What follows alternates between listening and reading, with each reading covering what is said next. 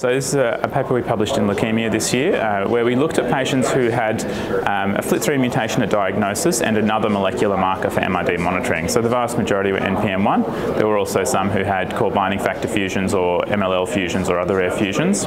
These patients were tracked with molecular MRD in remission and patients who had either a molecular relapse or a molecular progression were treated with a FLT3 inhibitor such as gilteritinib, sorafenib or quizartinib. We showed that in that setting the response rates were very high with the FLT3 inhibitors and about 60% of patients had a molecular response defined as a one log reduction in the MRD level or MRD negativity, and half the patients could be taken from the FLT3 inhibitor to transplant, which is considered to be the curative therapy in this situation. The toxicity when treating in this setting when patients are in hematological remission was much lower, and the, the vast majority of patients didn't require hospital admission or transfusions or develop infections, uh, and we felt that the, the use of an MRD-directed FLT3 inhibitor strategy was beneficial, and we're looking to take that forward forward into a prospective study using a FLT3 inhibitor, potentially with venetoclax for patients with molecular relapse, and incorporating the newly established FLT3 ITD MRD assay, which specifically will detect the FLT3 in the MRD setting.